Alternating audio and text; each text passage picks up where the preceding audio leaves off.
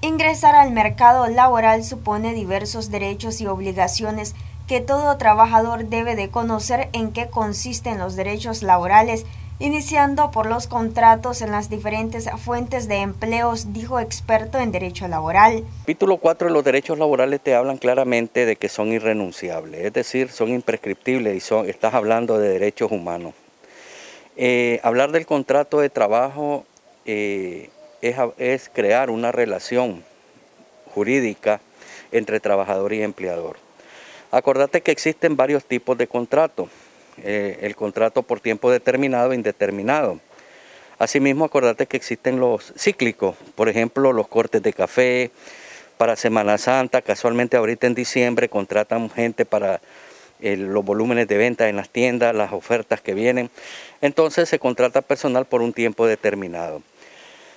Eh, debe de saber también el trabajador que devenga por cada mes trabajado 2.5 días de vacaciones y 2.5 días de aguinaldo. Es decir, la ley laboral te dice que el trabajador debe recibir cada seis meses 15 días de vacaciones, de descanso ininterrumpido.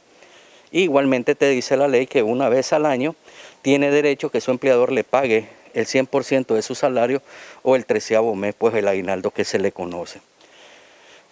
Han habido casos que hay empleadores que pagan eh, prestacionado todas estas eh, situaciones que te he mencionado, vacaciones, aguinaldo, antigüedad, hora extra, etcétera.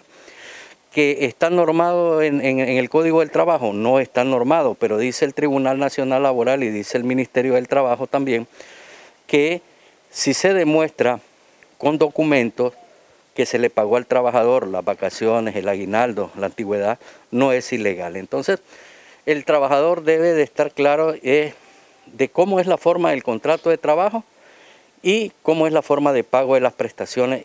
López recomienda analizar el código del trabajo para que puedan defender sus derechos. Siempre sigo insistiendo, Amigo trabajador, cómprese un código del trabajo. Ahora en el aguinaldo, que ya está próximo, aparte 100, 150 cordobitas, y se compran su código del trabajo. Ahora que vienen las vacaciones navideñas, denle una leidita y ahí se van a dar cuenta de muchas situaciones o derechos que la ley laboral les da.